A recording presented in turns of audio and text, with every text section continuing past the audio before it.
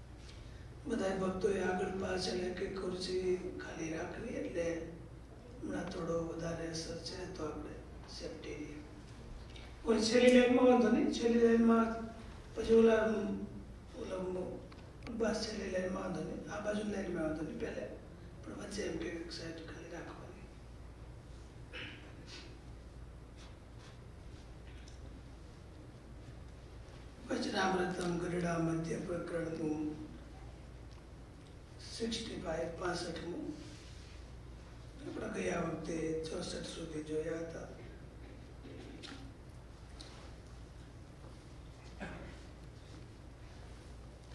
એમનું નામ છે અખ્તર ડાયાનું અને ભગવાનની માયાનું સ્વામિનારાયણ હરે સ્વામિનારાયણ હરે સંમત અઢારસો એક્યાસીના પોષ શુદ્ધિ એકાદશીના દિવસ. સ્વામી શ્રી સહજાનંદજી મહારાજ શ્રી ગઢડામતી દાદા કાચરના દરબારમાં શ્રી વાસુદેવ નારાયણના મંદિરની સમીપે ટોલિયા ઉપર વિરાજમાન હતા અને સર્વ શ્વેત વસ્ત્ર ધારણ કર્યા હતા ને પોતાના મુખારવિંદની આગળ મુનિ તથા દેશ દેશના હરિભક્તની સભા ભરાઈને બેઠી હતી. પછી શ્રીજી મહારાજ, ભલાજે સાંભળો, ભગવાનની વાર્તા કરીએ. ત્યારે તાલ પકાર લઈને સંત કીર્તન ગાવતા હતા તે ચાલા રહ્યા. અને સર્વે હાથ જોડીને સાંભળવા બેઠા. પછી શ્રીજી મહારાજ, ભલાજે જીવના કલ્યાણને અર્થે ભગવાનના રામકૃષ્ણાદિક અવતાર થાય છે. તેને તો માયાનો કાર્ય એવું જ આ જગત. તેમાં કોઈ ઠેકાણે મોહ થતો નથી. અને પોતાના અલૌકિક પ્રતાપ કરીને નિશંક વર્તે છે.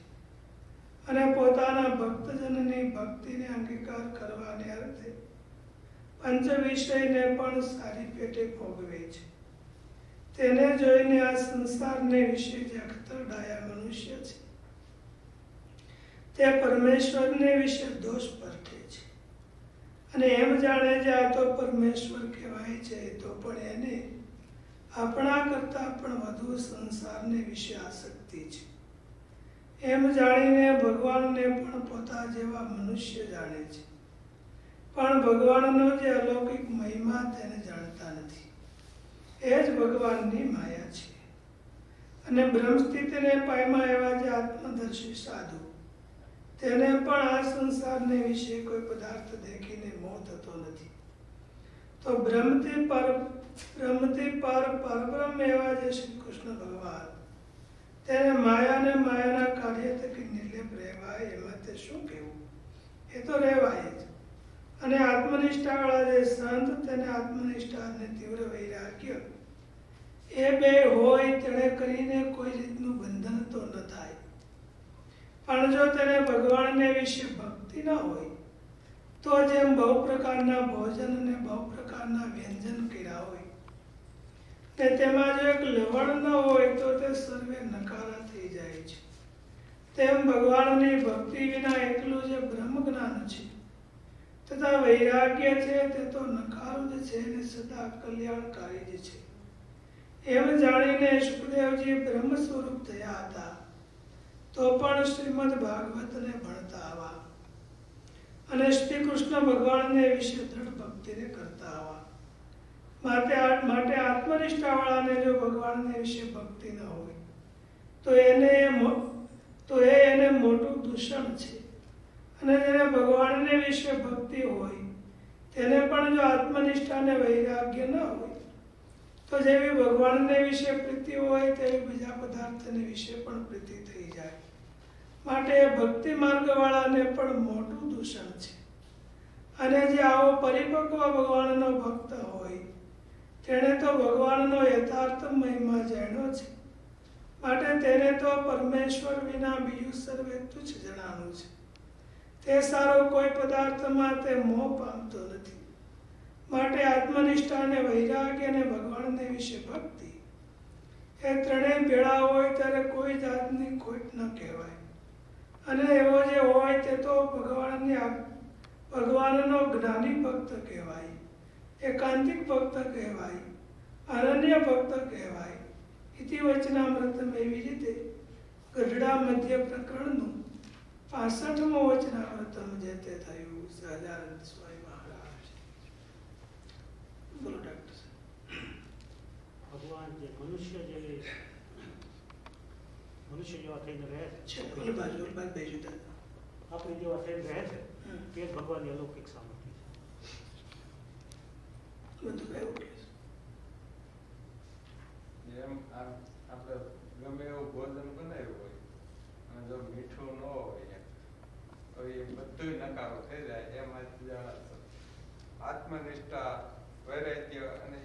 વસ્તુ એવી છે કે એની અંદર તમારે આત્મનિષ્ઠા ન હોય ભગવાનના ભજનની અંદર પોતાનો વિશ્વાસ ન હોય તો એ બધું નકારો છે કારણ કે જો નિષ્ઠા હોય તો જ તમને આત્મનિષ્ઠા પહેલી જ પાકી કરવી પડે જિજ્ઞેશભાઈ એવું કે સ્વામી શરૂઆતમાં જે મહારાજે કીધું એમાં કે ભાઈ રામકૃષ્ણ આદિ જે અવતારો થયા એ અવતારો આવીને જ્યારે પૃથ્વી પર આવે ત્યારે જે પંચ વિષયને અંગીકાર કરે અને જે ત્યારે જે આ ભગવાન છે એ- એ વસ્તુનો અંગીકાર એટલા માટે કરે કે ભક્તોની ભક્તિને અ, પોષવા માટે.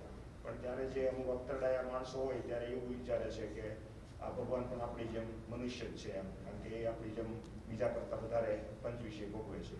એટલે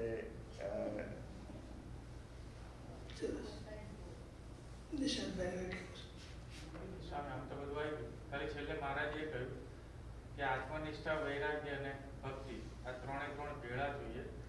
ખાલી આત્મનિષ્ઠા ખાલી ભક્તિ હોય અને આત્મનિષ્ઠા વૈરાગ્ય ના હોય, તોય ના ચાલે.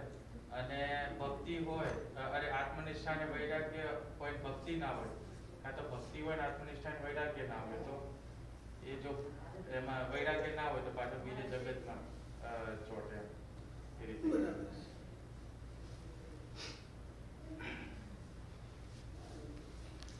વચનામૃત અને પહેલાના વચનામૃતમાં ભગવાનના સ્વરૂપમાં માયા નથી એમની વાત.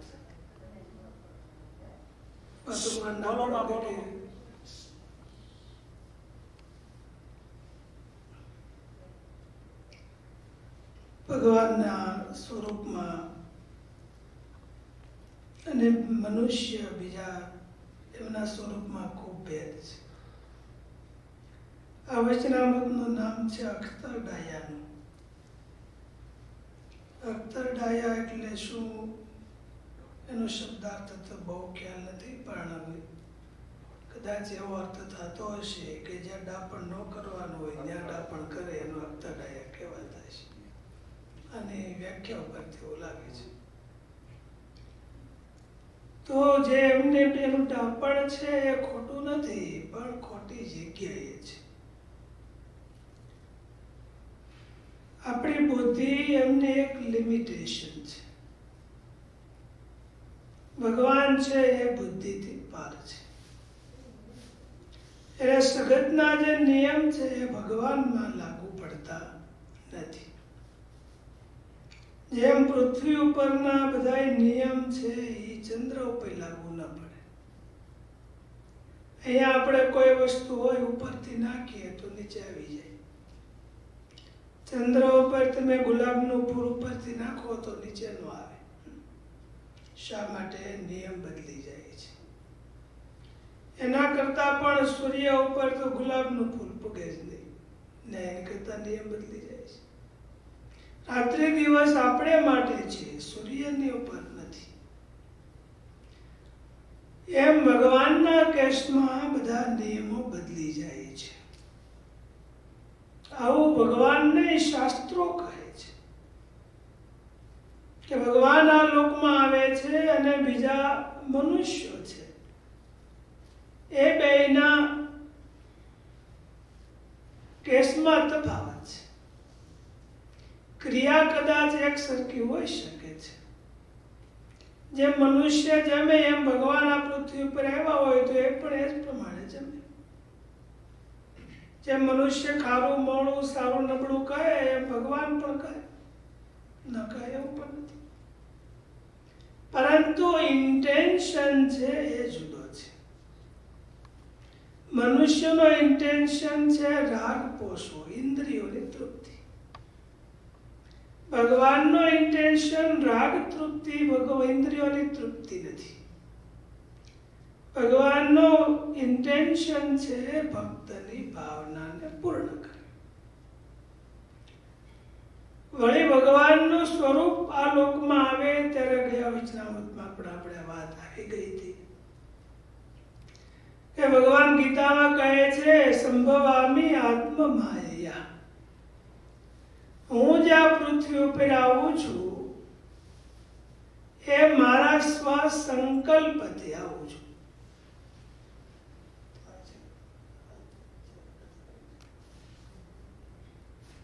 આત્મમાયા એટલે સ્વસંકલ્પથી.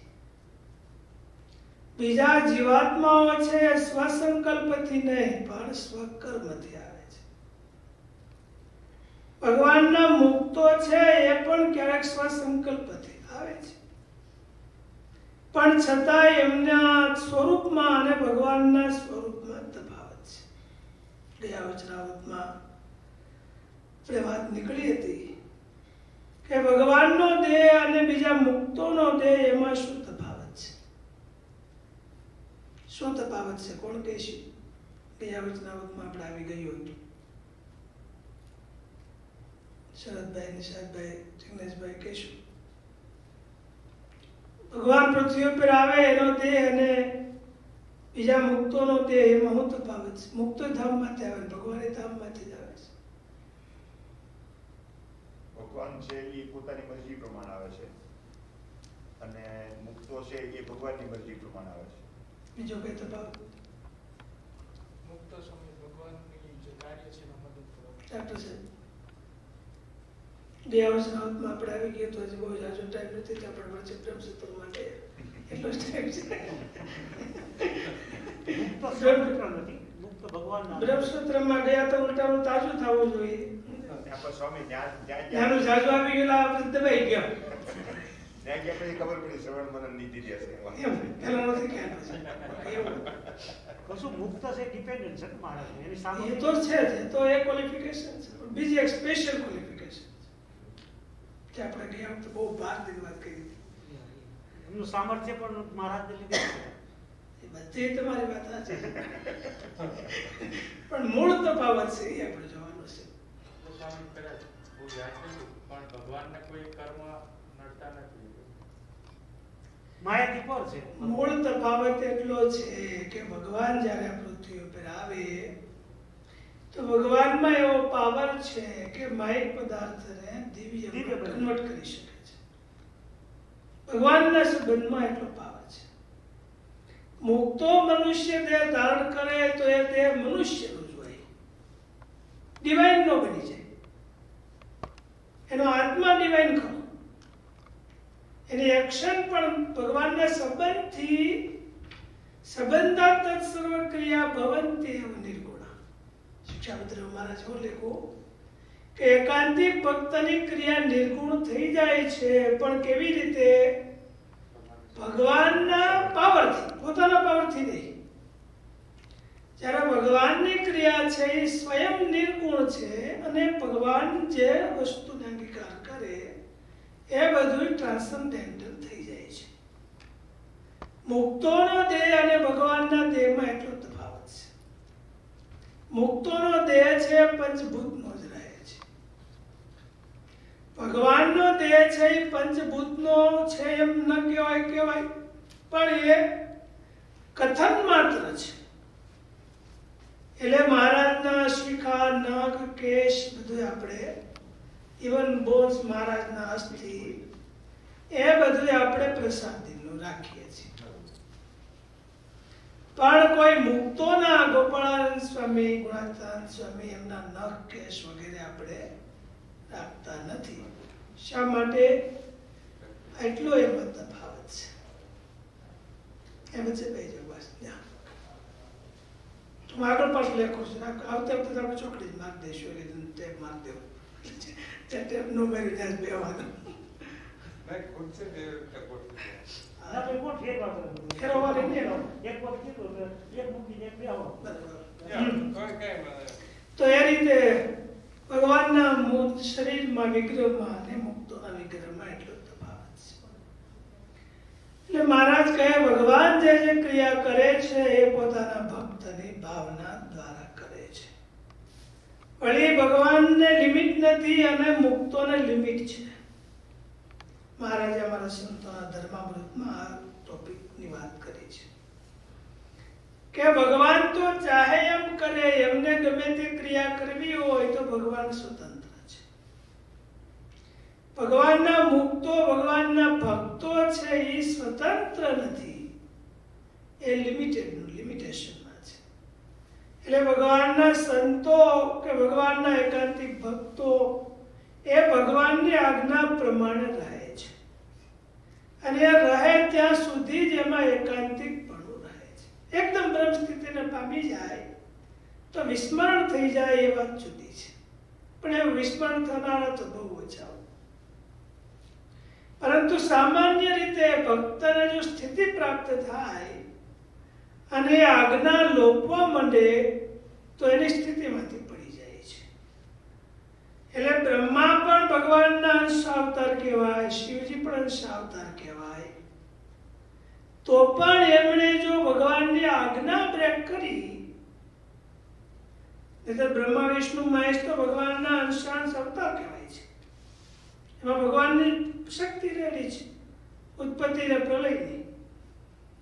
પણ છતાંય એમણે જો ભગવાનને આજ્ઞા લોપી તો એમને પ્રોબ્લેમ જીવનમાં થયો.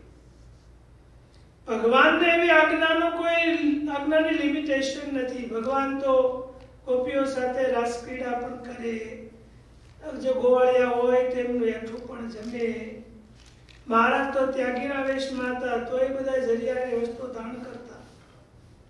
મહારાજ તો મૂળ અવતાર જોઈએ તો એમ કે સાધુ રૂપે હતો પણ તો મહારાજે સાધુ રૂપની લિમિટ ન રાખી.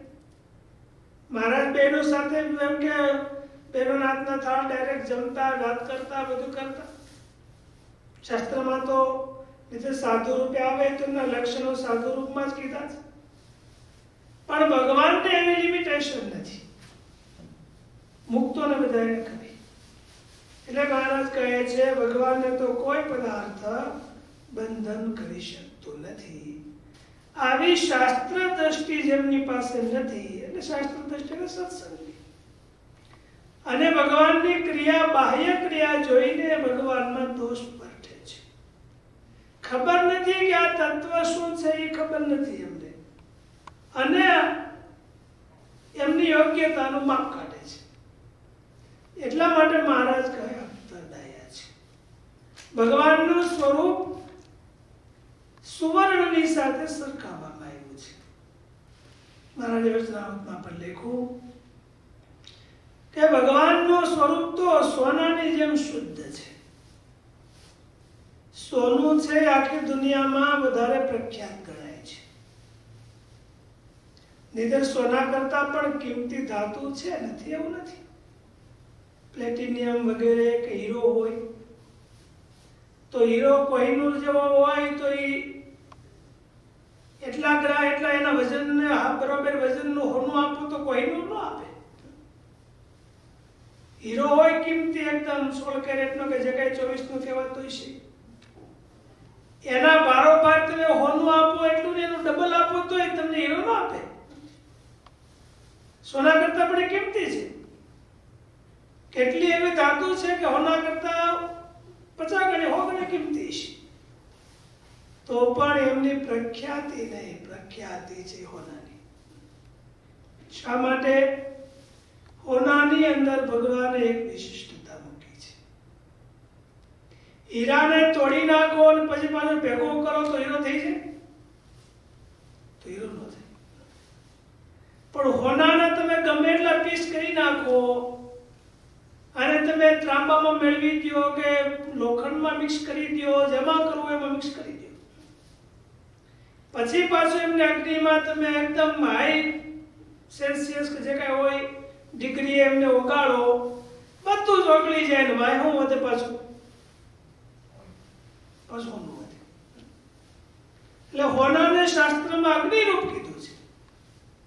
અગ્નિરૂપ હોવાથી અગ્નિ એમને બાળી શકતી નથી.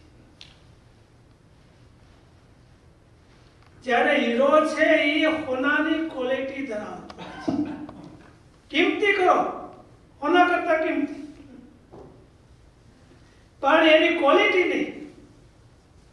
એટલે હીરો હોના કરતા દસ ગણો કિંમતી હોય પણ એમને તમે તોડી નાખે પછી પાછી એમની કિંમત જાય નહીં પછી હોતી એને અગ્નિમાં મૂકો એટલે ઝીરો થઈ જાય કાર્બન થઈ જાય. એમ તો એ મને ખ્યાલ અથવા તમે અગ્નિમાં મૂકો હીરાને તો ડિસ્ટ્રોય થઈ જાય. પ્લેટિનિયમ વગેરે ધાતુ એની કરતાં પણ કિંમતી છે. પણ તો હીરાની સાથે નથી આવતી સોનાની સાથે નથી આવતી. એમ ભગવાનનું સ્વરૂપ આ લોકમાં આવે, ત્યારે ભગવાન એટલો બધો કઈ પાવર બતાવતા નથી. બ્રહ્માજી બ્રહ્માજી અને શિવજી તો આખા બ્રહ્માંડનું મેનેજમેન્ટ કરે. ભગવાન આ લોકમાં આવે તો મેનેજમેન્ટ કઈ ન કરે. શ્રી કૃષ્ણ ભગવાન આવ્યા, મહારાજ આવ્યા તો કઈ બ્રહ્માજી જેવું કામ કર્યું કઈ? શિવજી જેવું કામ કર્યું કઈ એવું કામ ન કરે પણ તોય ક્વોલિટી અને ડિફરન્સ છે શિવજી અને બ્રહ્માજી કરતા બ્રહ્માજી આવડું મોટું બ્રહ્માંડ બનાવ્યું ભગવાન આવે શું બનાવ્યું ભાઈ શ્રી કૃષ્ણ ભગવાન આવીને એક દ્વારકા બનાવી એક દ્વારિકા બનાવી બ્રહ્માંડ તો ન બનાવ્યું એ પાછી વેગી પાણીમાં તો ઓરિજિનલ તો રહી ને. મહારાજા પૃથ્વી ઉપર આવ્યા તો હજારોનું કલ્યાણ કર્યું, પણ ક્રિયાશીલની દ્રષ્ટિએ કેટલું? છે ભાઈ? પરંતુ ક્વોલિટી છે જે અવતારની, એ જુદી વસ્તુ છે.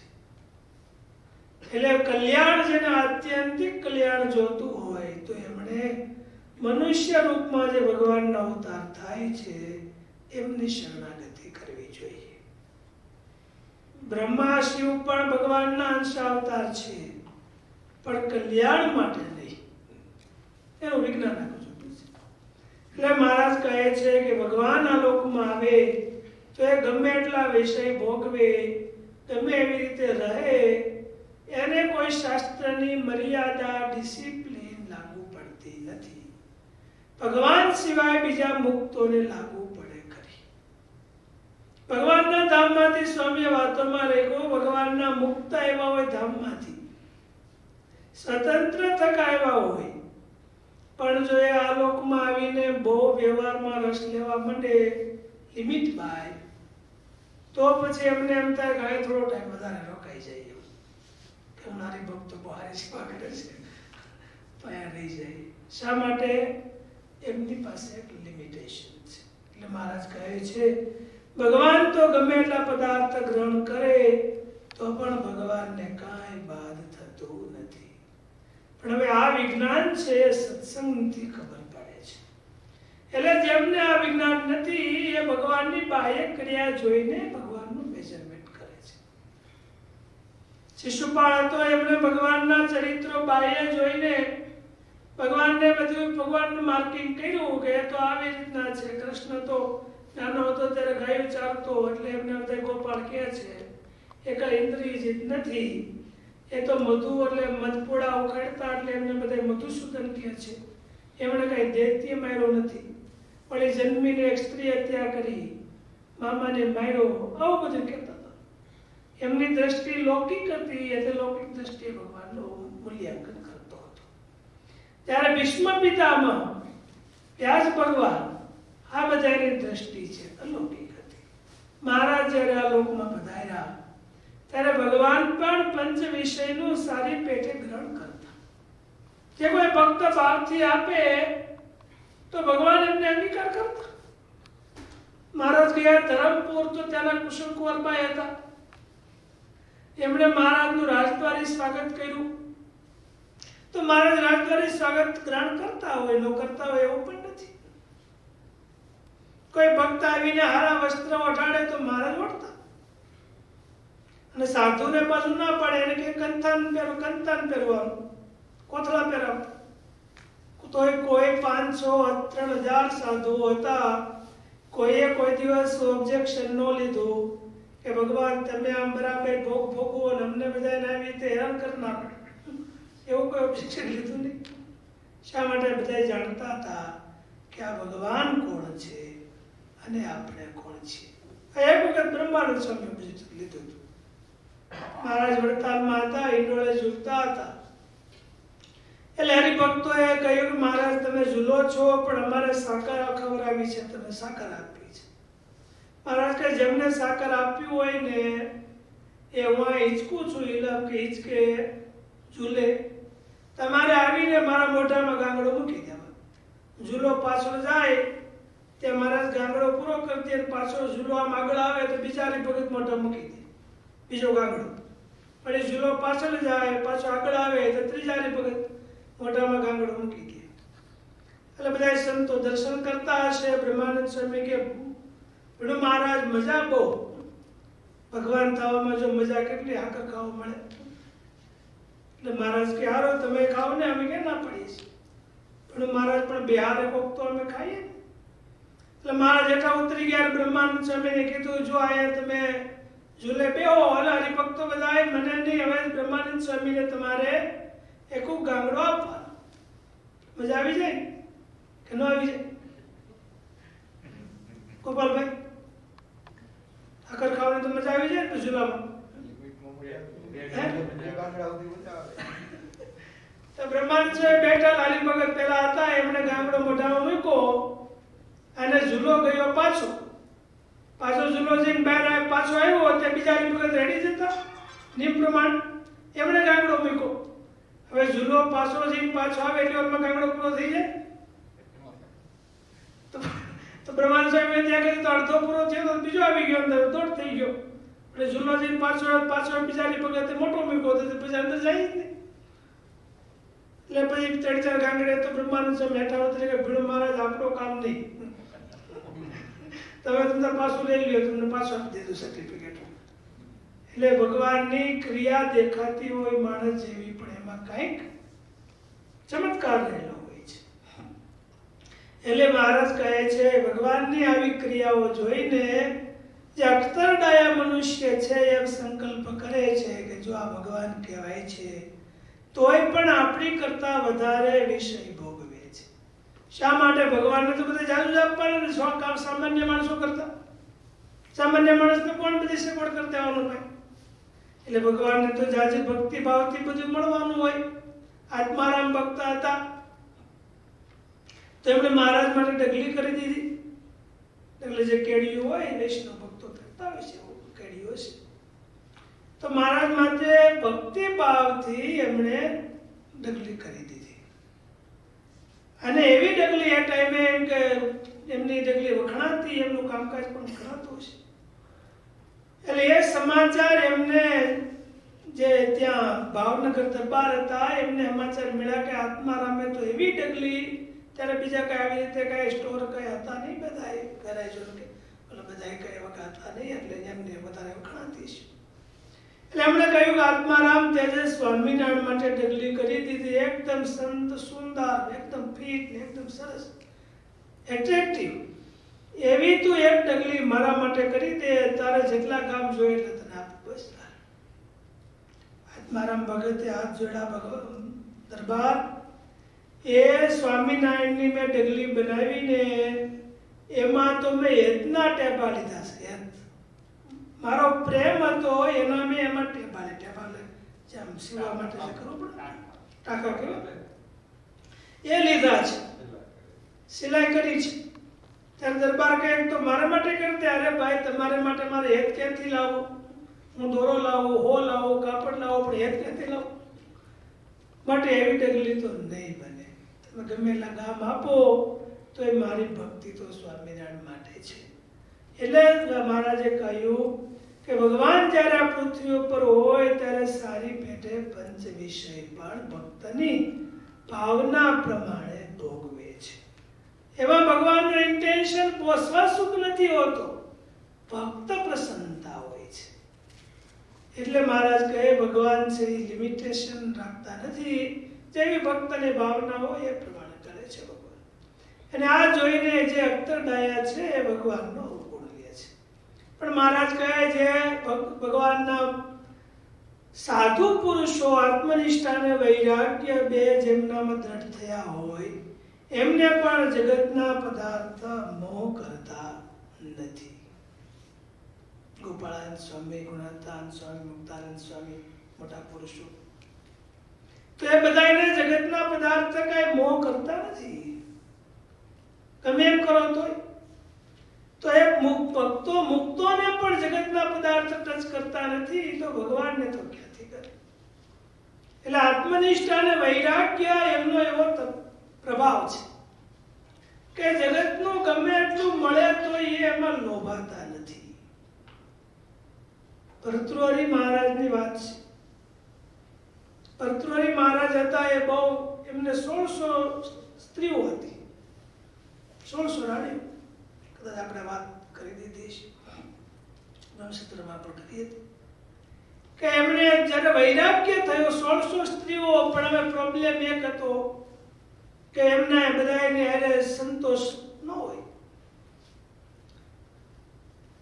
પિંગલા નામના રાણી હતા, એમની સાથે એમને વધારે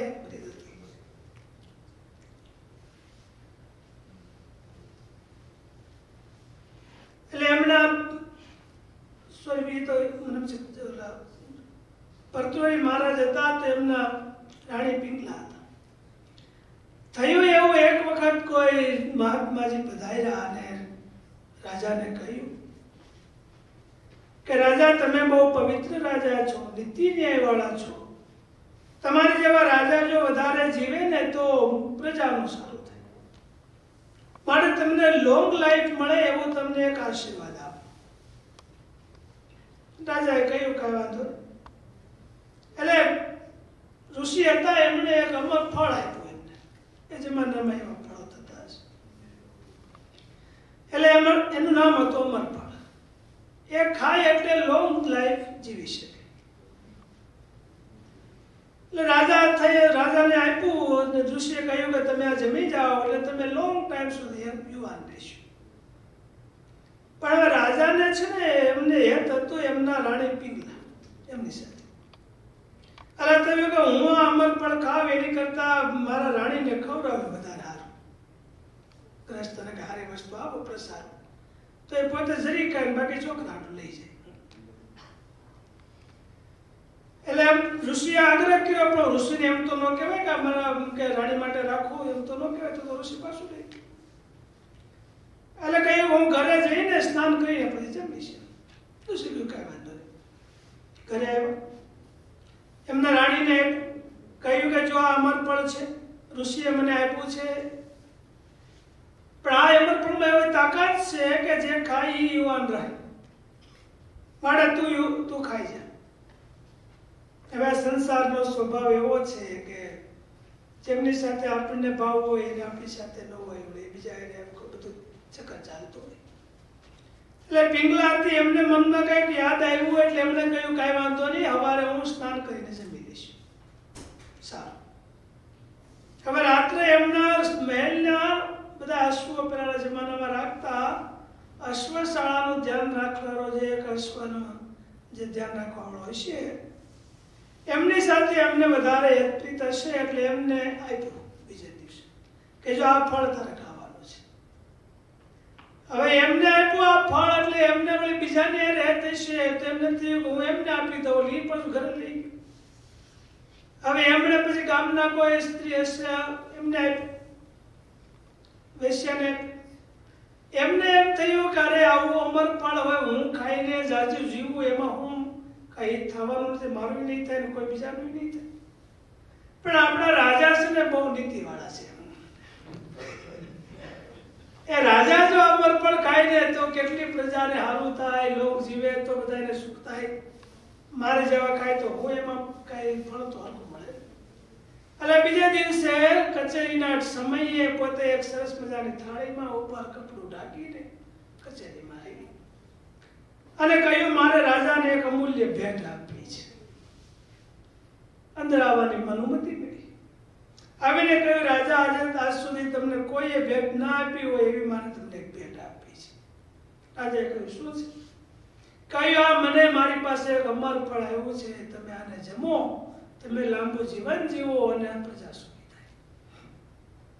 અમર ફળ તો કઈ માર્કેટમાં તો મળતા નથી કે બજાજા હોય એ તો હાર્ડલી એક બે એકાદ રાજાને તરત થયો અરે આ તો મેં આજે બે દિવસ પહેલા મારી રાણીને આપ્યું હતું. ફરતો ફરતો આવ્યો? છું કે એટલે તુરંત સૈનિકને બોલાવીને કહ્યું કે આમની તપાસ કર. ક્યાંથી આવ્યા? એટલે તપાસ કરતા કરતા કરતા રાણી પાસેથી આમ ગયું, અહીંથી આમ ગયું, અહીંથી આમ ગયું. બધું સમાચાર મળી ગયા. રાજાને એકદમ એકદમ પશ્ચાતાપ થયો. અરે, આવો સંસાર સ્વાર્થી છે. રાજાનો એક તો નિસ્વાર્થ હતો. એમાંથી તેમને વૈરાગ્ય થયો? અને પોતે ઘર છોડીને જતા રહ્યા.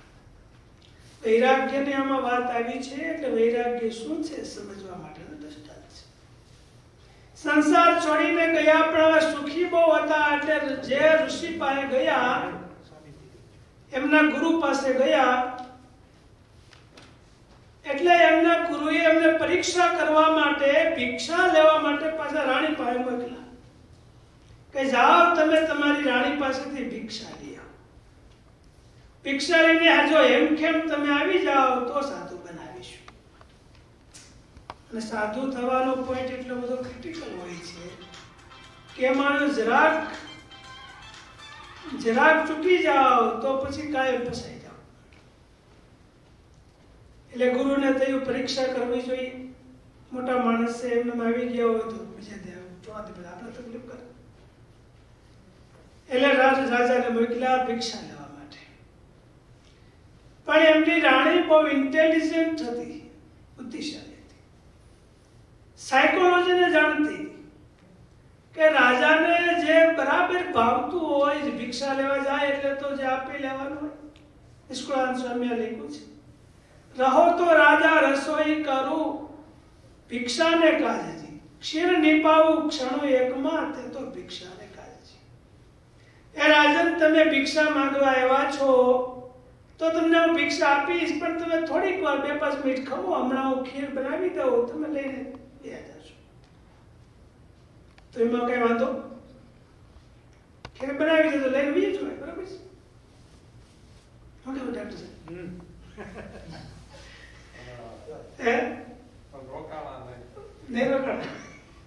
ત્યારે રાજાએ જવાબ આપ્યો, આહાર કારણે ઊભો રહે કરી એકની આશજી. તે જોગી નહીં, ભોગી જાણવો અંતે થાશે વિનાશજી હવે ખીર અટાણું તો ખાધું જ તું ગાડા ગાડો તો ખીરમાં વાંધો. પણ ભાઈ એમાં જ વાંધો. એ છેલ્લી ખીર યાદ રહી જાય તો પાછો ઘૂમરી ખાઈ નાખે રાણીને એમ કે, એવો સ્વાદ આમાં મૂકી દઉં કે પાંચ વર્ષે, દસ વર્ષે પણ પાછી એમની ખીર યાદ આવે અને પાછા આવી જવા જોઈએ. પણ રાજા પણ અલર્ટ હતા. સતર્ક હતા. રાજાએ કહ્યું, હું કાંઈ ખીર ખાવા નથી આવ્યો, હું તો મારી આ ગુરુની આજ્ઞા પાળવા આવ્યો છું. જે કાંઈ તૈયાર હોય આપી દે, નહીતર આવ્યો એનું નામ કહેવાય વૈરાગ્ય. ભગવાનના મુક્તો હોય, ભગવાનના એવા હોય, સંતો હોય, એમના હૃદયમાં આવો વૈરાગ્ય સંસાર પ્રત્યે હોય છે. ગમે એટલું તમને આપો, એમને એમને કોઈ લાલચ થતી નથી. એક સન્યાસી મહારાજ હતા. હવે સન્યાસી અત્યારે તમારે શું અમે વીઆઈપી સન્યાસી કહેવાય અત્યારે. સન્યાસી ખરા, પણ સ્વામિનારાયણના આશરે બેઠા એટલે વીઆઈપી થઈ ગયા. એરપોર્ટ આવી તો ગાડી લઈને આવ્યા, બધું ત્યાં. પ્લેનમાં બેવાનું બધું એટલે કે પ્લેનમાં બેવાનું હોય નહીં એટલે સંન્યાસી તો ટાઈમે જંગલમાં બધા વિચરણ કરતા એમાંય પણ વૈરાગ્ય હોય એટલે આપણે મુગટ સ્વામી હતા કોઠાર સ્વામી હતા ચપ્પલ પણ ન પહેરતા હરિપ્રસાદ સ્વામી હતા ચપ્પલ ન પહેરતા એમનું ખુલ્લા પગે વિચરણ કરતા હોય એટલે ખુલ્લા પગે હવે કાયમ માટે વિચરણ કરતા હોય જંગલમાં પથરામાં બધી જગ્યાએ તો પછી પગ હોય એમાં ખાડા પડી ગયા હોય ને કેટલી વખત તો સૂળ વગેરે વાગ્યું હોય કાંટા વાગ્યા હોય તો બધી તમારે જેવા કાર્પેટમાં રહેતા હોય એવો સ્મૂથ ન હોય. એટલે રાજા પાસે આવ્યા, રાજા રાજા એમનું પૂજન કર્યું. જૂના જમાનામાં રાજાઓ પણ સાધુ, સંન્યાસીઓને રિસ્પેક્ટ આપતા હતા. એમના પગ ધોયા. અતિથિ દેવો ભવા કરી. પણ પગ ધોયા ને ત્યાં પગની નીચે તળાવ ઉપર જોયું તો કાંટા લાગેલા બધી કપાસીઓ થઈ ગયેલી આ તે હતું બધું એટલે રાજાએ કીધું મરમમાં કે ઓ મહારાજી દો પૈસે કા જુતિયા भी नहीं मिलता ये टाइम में सस्तो सामान हो એટલે બે પૈસામાં એમ કે ચપ્પલ મળી જાય ચપ્પલને હિન્દીમાં જુતિયા કહેવાય કે દો પૈસે કા જુતિયા भी नहीं मिलता તો કે સન્યાસી મહારાજે કહ્યું, તારે જુતિયા વાળા પગ ધોવા હોય તો જા, બીજાને ધોજે. મારો ધોવા બંધ કરી દે, હું આવું મારે કઈ પગ ધોરાવા નથી. એમ કહીને પગ લ, પગ ખેંચીને બે કે સન્યાસી મહારાજ. એટલે જે ખરેખર સંન્યાસ જેમણે ગ્રહણ કર્યો છે, એમને જગતની કોઈ લાલચ, કોઈ દબાવી શકતી નથી.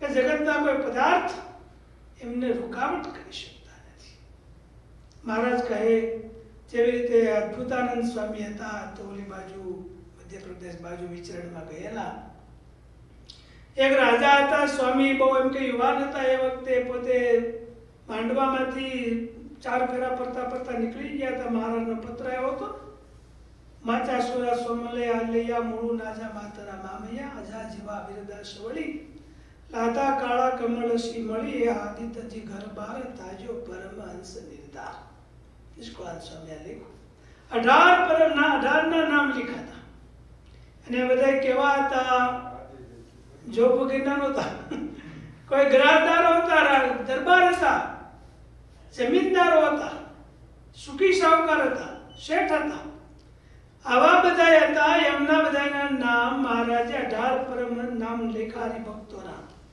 જીવા ખાચર માચા ખાચર ને બધા સુરા ખાચર ને અલિયા ખાચર ને ખાચર કે દરબાર કામતણીઓ અને કહ્યું કે જ્યારે આ પત્ર મળે અને ભગવાન પર જ્યારે સંન્યાસ બનાવે ત્યારે એ પ્રમાણ કરે.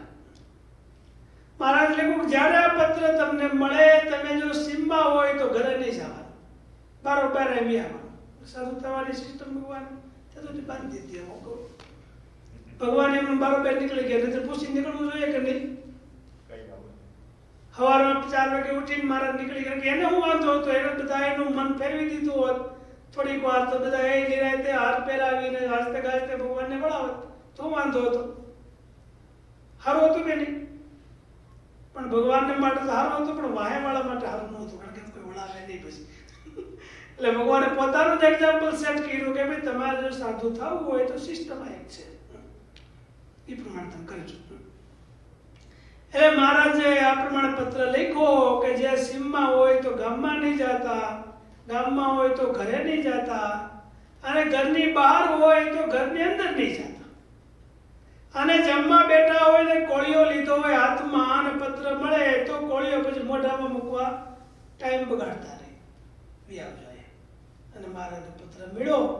અઢાર અઢાર પરમહંસો જેમ સર્પ કાસલી ઉતારે, એમ મધુન છોડીને મહારાજ પાસે જવા તૈયાર થયા એમાં અજા પટેલ અજા જેવા મા સ્વામી લીધું અજા પટેલ હતા, કામ નામ તો બધે ભૂલી ગયો.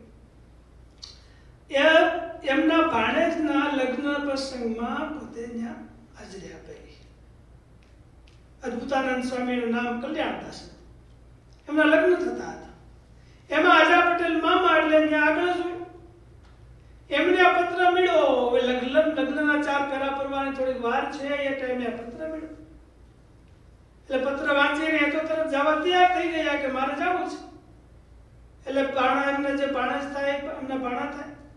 કહ્યું મામા, કયા કઈ બાજુ જવું છે? અત્યારે લગ્નમાં ક્યાં પડ્યા અરે, મારે તો મારાનો પત્ર આવ્યો જવું પડે એમ છે, પણ જોવા તો દો પત્ર તો જોવા દો એટલે એ પણ લગ્ન મંડપમાં હતા અને પત્ર વાંચ્યો કે, એ આદિત્યજી ઘર બહાર એમાં આદિ નામ લીધું આદિ લીધું હવે કાળનું તો નામ નહોતું કલ્યાણ અમને તો કલ્યાણનું તો નામ નહોતું પણ એમ થયું કે આદિમાં તો બધા આવી જાય ને. હવે પોતે લગ્ન મંડપમાં છે અને આદિમાં પોતાનું નામ પોતે એડ કરી દીધું. આપણે એડ કરીએ આપણું નામ આદિમાં? આ જમવાનું હોય તો આદિમાં એડ કરી. આ જમવાનું હોય તો આદિ ભક્તો જમવા આવજો. આજે શાકોત્સવ છે તો આપણે કહો કે આદિ છે ને એમાં તો આપણે આવી ગયા. પણ આપણે કઈ કોઈ સાચું થવું હોય તો વગેરે વગેરે આવજો તો કહો એ તો ઓલા બધા નામ શાકોત્સવ છે ઠીક? પણ કલ્યાણજી હતા, એમણે આદિમાં પોતાનું નામ એડ કરી દીધું. એટલે આપણે બસો વર્ષ પછી એમની વાત કરીએ છીએ. અને પોતે સંસાર છોડીને લગ્ન મંડપમાંથી જતા રહ્યા. બુદેલખંડ બાજુ સ્વામી સંસાર પ્રચાર માટે ગયા. ત્યાં રાજા હતો, એમણે સ્વામીને રોકી લીધા. સ્વામીને કે સ્વામીનો પ્રતાપ જોઈને એને થયું કે અમને જ આપણા જમાઈ બનાવી દઈએ સ્વામીના ચરિત્ર, જીવન ચરિત્રમાં લખ્યું છે. સ્વામીને ખબર પડી ગઈ કે આ મને રોકવા માંગે છે. સ્વામી રાત્રે બે વાગે ઉઠીને સાઠ માઇલ સુધી સ્વામી એક ધારો ચાલ્યા ગયા. ત્રણ દિવસ સુધી સ્વામી ચાલ્યા અને ત્યારે એમને શાંતિ થઈ. એટલે મહારાજે લખ્યું કે અમારા જેવા પરમહંસો છે, એમને જગત બંધન કરી શકતું નથી, તો ભગવાનને કેમ બંધન કરે? છતાં પણ મહારાજે આવા વૈરાગ્ય અને આત્મનિષ્ઠા એમની પણ એક લિમિટેશન બતાવી દીધી. કે આવો વૈરાગ્ય, આવી આત્મનિષ્ઠા હોય, પણ જો ભગવાનની ભક્તિ ન હોય, તો એ કેવી બધી બે કેવું છે? લવણ વગરના ભોજન જેવું છે. અનેક પ્રકારના મીઠાઈઓ, પકવાનો બધું બનાવ્યું હોય પણ જો એમાં એક લવણ એટલે કે મીઠાનો યુઝ તો ઝીરો હોય. દૂધપાકમાં મીઠું ન હોય, મીઠાઈમાં પણ મીઠું ન હોય, પણ ખાલી દૂધપાક ને મોહનથાળ ને, મગજ ને એવું ખાઈ શકાય? અને ખાવું તો ટેસ્ટેબલ લાગે? કાંઈક સાથે સાથે મીઠાવાળું શાક, દાળ વગેરે, ગાંઠિયા વગેરે પણ જોઈએ. કે જેમાં મીઠું એડ કરેલું. પણ મીઠું ઝીરો હોય, ભલે મીઠા વગરની આઈટમ ઘણી થાય, નો તો એવું નથી. પણ ખાલી મીઠા વગરની જ બધી આઈટમો બનાવવામાં આવે. ગુલાબ જાંબુ છે, કે મોહનથાળ છે, મગજ છે, ચૂરમાના લાડુ છે, કે પછી દૂધપાક છે, શ્રીખંડ છે, બધું આવું જ બનાવવામાં આવે, જેમાં મીઠું ન હોય. પછી તમને કહેવામાં આવે, બધી જ આઈટમ જમો તમ તારે વીસ પ્રકારની આઈટમ છે. પણ એમાં એક પણ મીઠાવાળી આઈટમ ન હોય, તો ટેસ્ટ કેવો આવે? ટેસ્ટમાં મોઢું ભાંગી જાય તરત એટલે કંઈક ખાવું પણ જોઈએ. મહારાજ કહે, જો એવી રીતે આત્મનિષ્ઠા અને વૈરાગ્ય હાચા છે, પણ ભગવાનની ભક્તિ નથી, તો એ નકારા છે. એમનું કોઈ એટલું બધું વિશેષ ફળ નથી. પણ મહારાજ કે, ભક્તિ હોય તો જ એમનું પૂર્ણ ફળ પ્રાપ્ત થાય છે.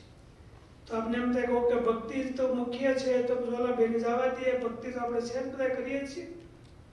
તો ભગવાન એમાં પણ લાલ બત્તી બતાવી વોર્નિંગ આપી.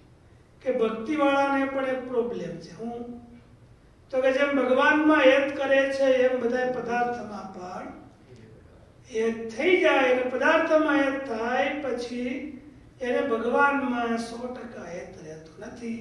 ક્યારે એનું હેત કન્વર્ટ થઈ જાય એમને પણ ખબર પડતી નથી. એટલે વૈરાગ્ય અને આત્મનિષ્ઠા પણ ભક્તિને સિક્યોર રાખવા માટે આવશ્યક એટલે મહારાજ કે ત્રણે ત્રણ જો હોય, આત્મનિષ્ઠાના વૈરાગ્ય એટલા બધા જરૂર પૂરતા અવશ્ય જોઈએ. જો જરૂર પૂરતા પણ ન હોય, તો ભગવાનને બદલે ભોગની અંદર ભક્ત છે એ લેવાઈ જાય છે. ભગવાનને ભક્તિ માર્ગમાં શું હોય, ભગવાનને અનેક પ્રકારના કે, વસ્ત્ર, અલંકાર બધા પદાર્થો, જમવાના વગેરે ધરાવવાનું હોય બધું તો આપણે ભગવાનને સારામાં સારો અન્નકૂટ ધરાવ્યો હોય તો પછી જમવાનું કોને હોય? જમવાનું તો આપણે અને મન એવું છે કે ભગવાનને ધરાવ્યા પહેલા પણ જમવાનું પ્લાન કરવા માંડે. જો જમવાનું પ્લાન ધરાવ્યા પહેલા કરવા માંડે તો પછી એ દૂષિત થઈ જાય છે. પછી ભગવાન જમતા નથી. એને ભાવ દૂષિત કહેવાય. ભાવ દૂષિત અને ફિઝિકલ દૂષિત હોય છે. ફિઝિકલ દૂષિત એટલે શું? જે એમ કે નિયમ વ્યવસ્થિત પવિત્ર ન રહ્યા હોય તો એ ફિઝિકલ દૂષિત કહેવાય. અને ધરાવ્યા પહેલા આપણને જમવાનું મન થઈ જાય તો એ ભાવ દૂષિત કહેવાય છે. એ ભાવ દૂષિત અન્ન પણ ભગવાન જમતા નથી. એટલે મહારાજ કે ભક્તિ હોય તો એમણે પણ વૈરાગ્ય અને આત્મનિષ્ઠા અવશ્ય જોઈએ. અને આત્મનિષ્ઠા, વૈરાગ્ય અને ભક્તિ આ ત્રણેય હોય તો એમને મહારાજ કે એકાંતિક ભક્ત કહેવાય, જ્ઞાની ભક્ત કહેવાય અને અનન્ય ભક્ત કહેવાય. એટલે ગ્રસ્ત હોઈએ કે અમે સંતો હોઈએ તો બધાને આ ત્રણ વસ્તુની આવશ્યકતા પડે છે. પણ મહારાજે મૂળ વાત તો ભગવાનના સ્વરૂપમાં દિવ્યતા છે એમની વાત કરી છે કે ભગવાનને આ લોકના પદાર્થ બંધન કરી શકતા નથી. એટલે મહારાજને આપણે લીલાઓ જ વાંચતા હોઈએ, સાંભળતા હોઈએ તો એમાં દિવ્ય ભાવ આપણે કેળવવો જોઈએ? અને દિવ્ય ભાવ એમાં હોય જ એક એક ચરિત્રમાં દિવ્ય ભાવની ઝલક એમાં રહેલી હોય છે. પણ ભક્ત આવો વિચાર કરે છે એટલે એમને ખ્યાલ આવે છે કે આમાં આવી દિવ્ય ભાવના હતી. દિવ્ય ભાવ ન હોય તો કોઈના હિતની, હિતનો ભાવ હોય છે. એટલે મહારાજ છે એ ચરિત્ર કરે છે તો એ દિવ્ય છે. અને ભગવાનને જે દિવ્ય જાણે છે, તો પોતે પણ એવો દિવ્ય ધીરે ધીરે થતો જાય છે. એટલે મહારાજ કહે, જે અવતરડાયા છે, એ ભગવાનમાં પણ દોષ પલટે છે. અને એ જ ભગવાનની માયા છે. એટલે મહારાજે આ વચનામૃત બહુ સરસ કીધું છે. ભક્તોએ આ વિચારવા જેવું છે. અને મહારાજે ભક્ત, ભક્તોએ શું રાખવું જોઈએ એમની પણ વાત કરી. આત્મનિષ્ઠા એટલે સહન શક્તિ થોડું ઘણું સહન કરતા પણ શીખવું જોઈએ. જેમ સંસાર માટે લોકો સહન કરતા હોય છે. પૈસા મેળવવા માટે સહન કરવું પડે કે ન કરવું પડે? કરવું પડે. હોટલમાં હોય તો રાત્રે કસ્ટમર આવે તો ભાઈ ગોપાલભાઈ જવાબ આપવો પડે ન આપવો પડે? કે હોઈ ગયો કે બેઠા હું તો હવાર આવશું એમ કહો તો ગમે એટલી ઊંઘ આવતી હોય તો ઊભા થઈને જાઓ. અને પછી તમે ખબર ન પડે ભાઈ ઊંઘ આવે છે. એમ હોય છે ને ટ્રેનિંગ આપે ત્યારે ઊંઘી. કે ફ્રેશ થઈને જવાનું એમ. ઓલો સૂતો હોય રાતે બાર વાગ્યા પાછું ફ્રેશ અને બતાવવાનું આર્ટિફિશિયલ હું? આઈ એમ ફ્રેશ તો સંસાર માટે પણ જો એટલું કરતા હોઈએ, તો ભગવાન માટે કોઈ ભક્તોને હારે રહીએ, થોડું કરીએ તો સંત કરવું જોઈએ. અને ભગવાન માટે સંત કરીએ એને કહેવાય આત્મનિષ્ઠા. અને પૈસા માટે સહન કરીએ એને કહેવાય કર્મનિષ્ઠા. કર્મ પર છે એટલે સહન કરવું પડે. એનો કોઈ આત્મનિષ્ઠા નથી. પણ ભગવાન માટે, ભગવાનના ભક્તો દ્વારા કે ભગવાનના સ્થાનમાં જે કાંઈ આપણે સહન કરવું પડે, થોડું ઘણું એને આત્મનિષ્ઠા ભગવાન માની લે છે. એટલે આત્મનિષ્ઠા પણ જોઈએ અને વૈરાગ્ય પણ જોઈએ. જો આત્મનિષ્ઠા ના હોય તો આપણને સત્સંગમાં બેહવામાં તકલીફ પડે. લગડાય હોય ને, થોડીક વાર સત્સંગમાં બે મળી ઊભા થઈને બહાર બેસી આપણે અમેરિકામાં તો આવશે તો ડિસિપ્લિન હોય એટલે કે બેઠા રહે પણ તો બેઠા રહે એટલે અંદર આવે જ નહીં બહાર ઊભા રહે આપણે અહીં સારું છે, બધી બહાર ઊભા રહેવાની સિસ્ટમ નથી. પણ આપણે બીજા મોટા સ્થાનો હોય તો, ત્યાં તો બહુ મોટું હોય, ચારે બાજુ બધું હાલતું હોય તો બહાર, અહીંયા જો આપણે સેવા બહાર હાલતી હોય તો બધા પેલા ક્યાં ઊભા રહે? પેલા સેવા બે જણા કરતા હોય તો પાંચ જણાને ઊભા રહે. એટલે એવા બે ત્રણ જણા સલાહ બીજા બધા સાંભળે સાંભળે. અહીં સત્સંગ હાલતો હોય, કીર્તન હાલતો હોય તો અહીંયા પછી લઈ ઠારો ભાઈ ક્યાં બંધ થઈ અહીંયા આપણે અહીંયા ઊભા રહીને બંધ થઈ જાય તો આપણે કઈ લોસ એમાં છે નહીં. એટલે એને જો એવી રીતે થાય તો એને કહેવાય આત્મનિષ્ઠાનો ભાવ એટલે ભગવાનના ભક્ત એમણે થોડી આત્મનિષ્ઠા પણ કેળવવી જોઈએ, થોડું વૈરાગ્ય પણ જોઈએ અને ભક્તિ પણ જોઈએ. ગ્રસ્ત ભક્ત હોય તો વૈરાગ્ય જોઈએ. ત્યાગ ન જોઈએ. ત્યાગ તમારા ગ્રસ્ત આશ્રમમાં સખંડ બને છે. અમારે બે જોઈએ, ત્યાગ પણ જોઈએ અને વૈરાગ્ય ગ્રસ્ત છે, એમણે ત્યાગની તો એટલી બધી આવશ્યકતા નથી.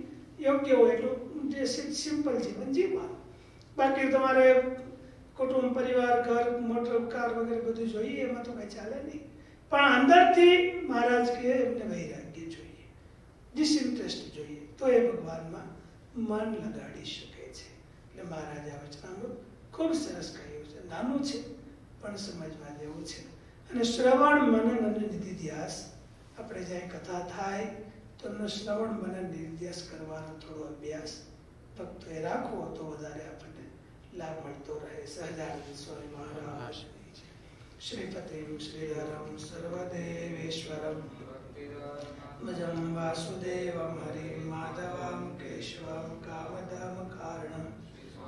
નારાયણમ નીલક સ્વામી મહારાજ એ જય બ્રહ્મસંતરા ખૂબ સરસ થઈ ગયો જે ભક્તો અહીંથી શરદભાઈ જિગ્નેશભાઈ બધા નિશાદભાઈ આવેલા બધા ભક્તો અમને ખ્યાલ છે અને ઓનલાઈન પણ તમે બધા ભક્તો યુટ્યુબમાં પણ જોયો હશે મોટા સંતોના આશીર્વાદ પણ પછી ગુરુ મહારાજ દેવપ્રસાદ સ્વામી લક્ષ્મીનારાયણ સ્વામી ઘનશ્યામ સ્વામી જ્ઞાન સ્વામી ધર્મવલ્લભ સ્વામી ભક્તિવલ્લભ સ્વામી બધા મોટા સંતોના આશીર્વાદ પણ સરસ પ્રાપ્ત થયા હતા તો જે ભક્તોએ કે લાઈવ હજી ન જોયો હોય તો ત્યારે ત્યારે જોઈ લેવું અને એમાંથી ઘણી સારી વસ્તુ આપણને પ્રાપ્ત થાય એમ છે.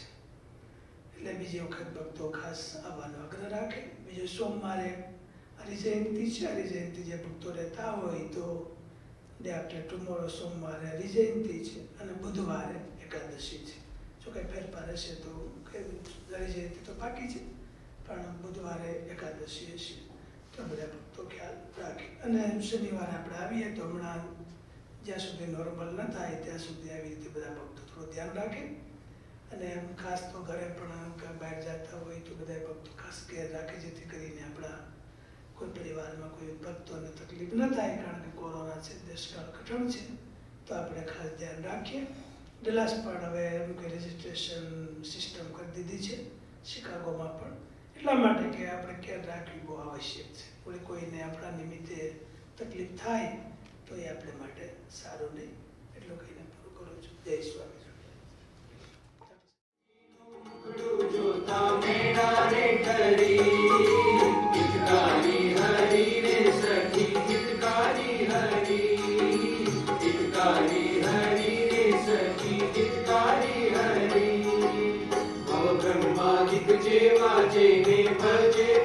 ભરી ભવ બ્રહ્માદિક જેવા જેને ભજે પ્રેમ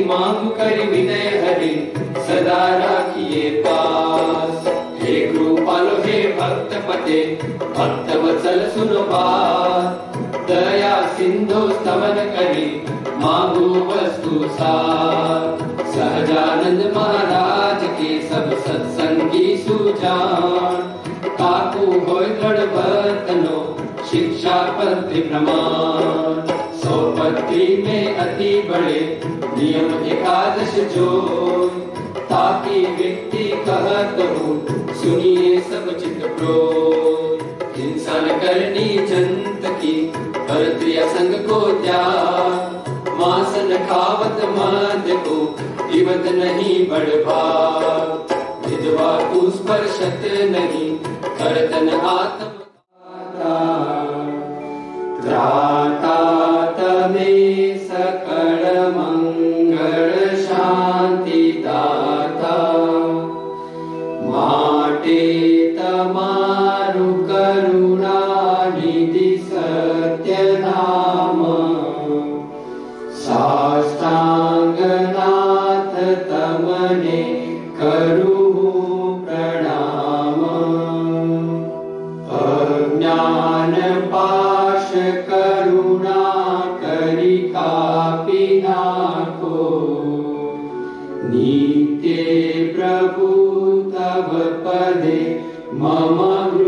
Buddhira